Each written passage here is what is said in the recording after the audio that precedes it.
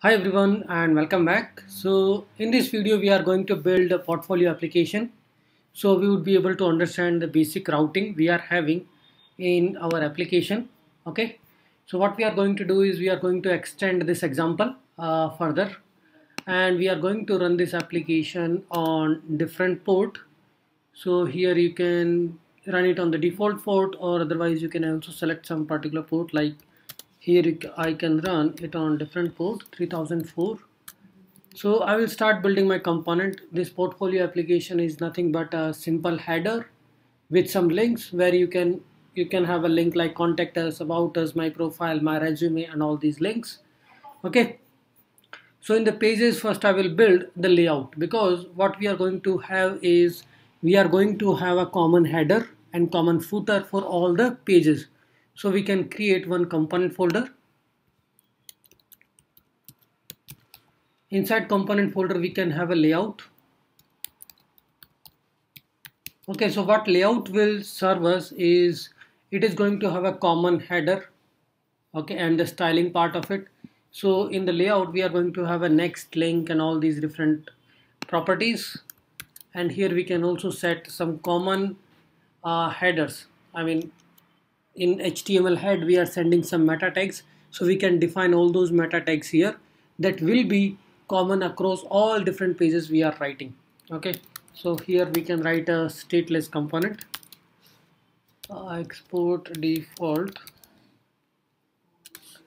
And here this is going to be the parent component of everything. So what it is going to have it is going to have just a JSX okay export default children. Here we can have children and title. Okay and what we are going to return is the div tag.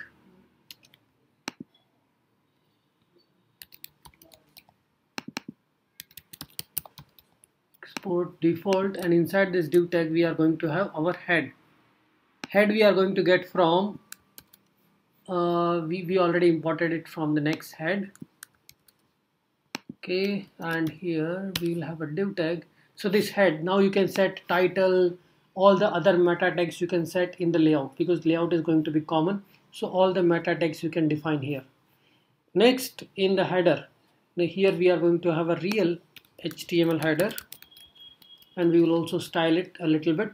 And in this header we can have all the other links. Links are like blogs uh, about me contacts and all these links. We are going to create these further pages. So for now let's paste it and format it a little bit. Okay. So now we created a header and we created a few links. Now what we can do is we are rendering the children component now inside it. What we are doing is children. And before that we can set a title of the page also. Here we are getting two properties children and title. Okay? After that we can set uh, like footer is also there. After this div uh, inside this we can also set footer which is nothing but HTML tag. And you, if you have something in footer you can set. Okay? After that we will have some global style. Global and local style. Style is JSX because we are wrapping it around a JSX. Okay, now how we write a styles is open and close a curly braces and here inside the backticks we will write our own styles. Okay, this is how we actually wrap all the styles, format it a little bit. Now we can define what all style we have like root. Okay, what we will define the classes for root for the header which is a HTML tag. There is anchor tag in the header. We will style it like this. And whenever you are actually doing hover focus on these anchor tags that also we can define.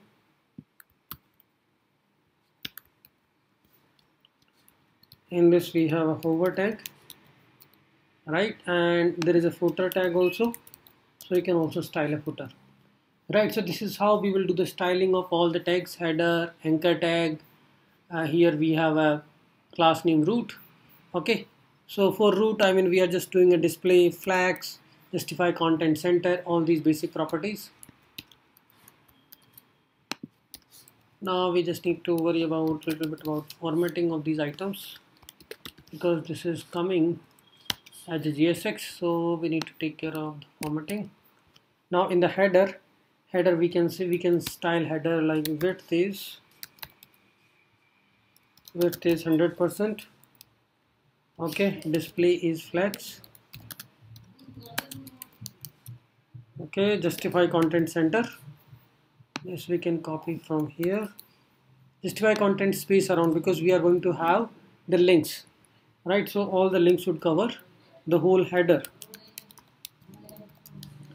Space around okay font size for each and every whatever you are putting in the label font size is 1.2 rem okay background whatever you can put. Background blue. Okay similarly you can add a custom styles for hover and footer. I'm just removing it because we can write these later. Okay so this is my layout component i have created. Okay this layout component is common across all components. Here I can also have a global JSX global JSX which we are applying. For you can see here I need to put a global for it. Right in the global JSX some common properties like for body.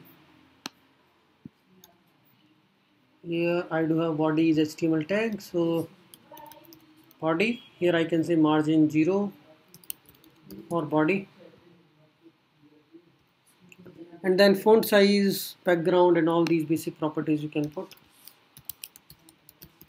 Or body which is like f0 f0 we can put. Okay this is the global and this is local to the component. So we have created a layout. Now this layout component can be used in all other components. So here I will be creating index.js which will be considered as a home okay? So what I will do is instead of right returning this I will return here we can import that layout from we created that inside a component. First go outside component and layout. So we'll wrap everything inside this layout and we'll pass the title sorry. This is our layout and we can pass two properties. One is title and the children. Title is home and in the children we can pass uh, okay. Welcome to my profile. Right this is children of this layout. So this will get rendered here in the children and here we are passing title also. So these two properties we are passing title and children okay so this is my first component which I have created with the help of layout right? Export default home. Now whenever you are hitting forward slash this component will be triggered. Now uh, what we are doing is other components we can create is okay let's create a post uh, posts component we can create like number of blogs which you have written. So this example we have already covered in the previous video we'll just create a class. Uh, let's say blog.js here we are creating links right? So in the layout we have created these links. Home forward slash about. So we have to create about.js hire me.js blog.js so I've created a blog.js and I have already created this. So we are getting layout from component layout right? Layout we are wrapping inside all the uh, I mean we are wrapping inside a layout and we are passing title and this is my children's. So post link is another component which is just creating a link right?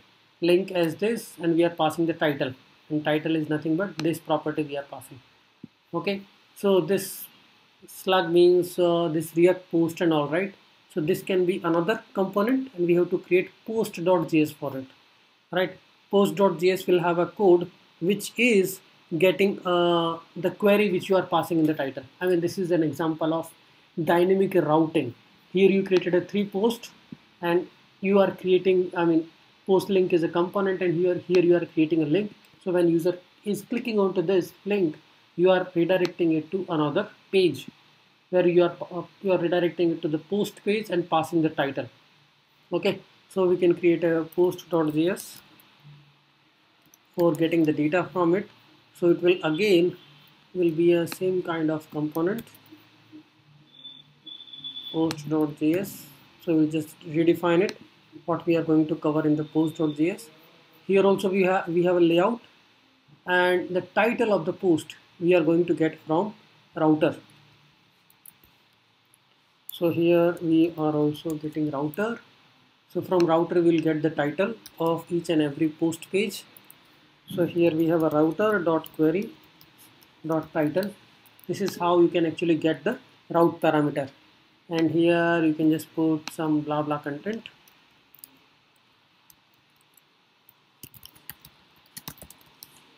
Hello world and you can also print the title which we are getting which is router dot query dot title. Right simple one. And this we are exporting so either you create a variable export const. So simply like const post okay and then you do export default. Post. Okay so we have created a post component. And here we have to wrap this inside a with router because we have we have to access the router in the props right so in the react router DOM in react pure react react router DOM also we have this higher order component with router. Same with router we are getting from the router to access the router props. So here we will get with router. I mean this is little advanced but this we are already doing in React. Next router which is coming from next router so with router will help us to access the router props okay and another thing which we are using is import layout from component layout and this layout we are using here we are passing title and this is the children of it Cool, so we have created a Go blog posts and all. Now, another important aspect we are going to add is the document. So in Next.js, you will see this underscore app, underscore document, underscore error. These are default page, which you can override by defining your own code, error.js. Okay, there is one more same kind of page, which is a document.js. So these pages are nothing but some default definition is already there but if you wanted to customize it in, in your own way this document page here we can define the common uh, common tags which you are going to use in the meta tag of your header right? So all the head like font families font style all the common styling which are required for each and every component that you can define here. Okay so this is also coming from next. Import document and we can also get head that we are already using main and next script. That I will explain what it is next script. We are getting all these from next document. What we are rendering from server an HTML document right? So we can customize HTML document according to our own way. Export default class my document which is extending document page and here you can actually render what HTML you want to render. So here you can define your HTML tag with headers and all.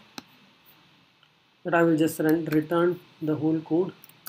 So in the render we are returning this code snippet. Now if I just format it and show you.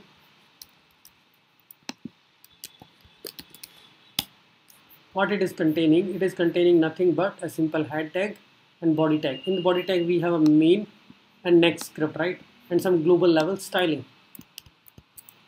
Right? So this document will override the default next.js document page. Similarly you can also override error page if you have right? So error page like some internal error occurred right? Like status code is occurring like 500 from the server side when you are making some API call. So that kind of thing you can do in the error.js that we will override later. So we created document.js, app.js is not needed. This is also you can actually when you wanted to define a global styles then you can create underscore app.js and put all the global styles. So this page is actually base page and this styling whatever the styling has been added here will be available to each and every component. Same thing we have done with the help of layout.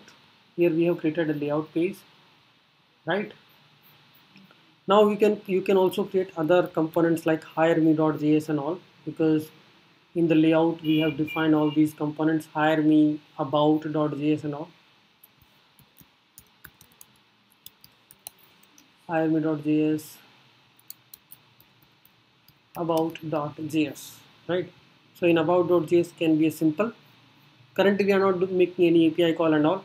It's just a simple uh, website we are creating. I mean simple layout we are creating. So hire me.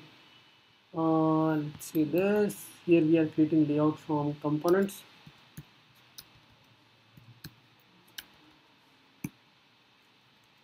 okay layout we are wrapping every component in the layout so it can have the nice header and export default hire right so this is a kind of component we have created and you can see what all concepts we have included. The basic kind of a routing and creating the common layout component which can wrap everything and how to write a JSX for your Next.js component and the global JSX. Okay, in the next video we will try to run this and we'll see how the stylings are getting applied and then we will also load, we will also add the dynamic loading of these modules. So you see when you click on about, about.js is getting rendered, blog.js is getting rendered. So how do we know, how the user will know that some loading will happen? So we can have some kind of a next router loading, loading using next router so that we can show some kind of a loader to the user. Okay, this page is getting loaded because when you change the link, we are making a request to the server to get the content. It's not a single page application at the client side. It are these are different different pages and we are rendering only that page which we have hit as a forward slash. It will render index.js. When we hit the blogs, then it will render this particular page. Okay. Let's see that in the next video.